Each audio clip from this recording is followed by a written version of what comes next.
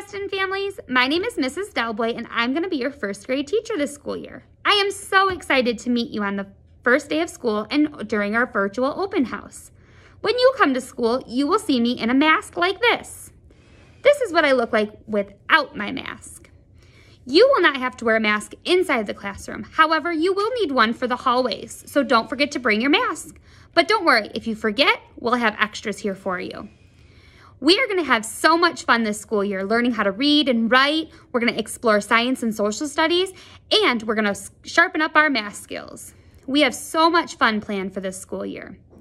I'm asking you to bring in a few items to start off our school year. You will need two pencil boxes. One will be empty and one will have a fun set of supplies. You will need a box of crayons, some glue sticks, scissors, a dry erase marker, some pencils, and an eraser. The other supplies that you bring, please put in a Ziploc bag with your name on it so that way we can refill your supplies up when they get low. Don't forget to bring a water bottle full of water because our drinking fountains in our classroom won't be working.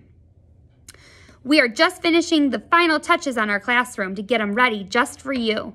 This year, you will each get your own desk to store all of your supplies in. You will also get a book bin to store all of your favorite books with your favorite authors, as well as your own mailbox.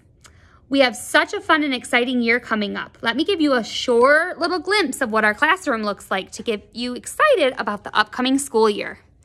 We have our small group area. We have our mailboxes, our calendar, our birthday board, and then over here, we have all of your mailboxes and your hooks where you'll store all of your backpacks and coats and gloves and everything like that. We have our main whiteboard that we'll be learning lots of, our daily schedule. This is Mrs. Delboy's area. And then our desks.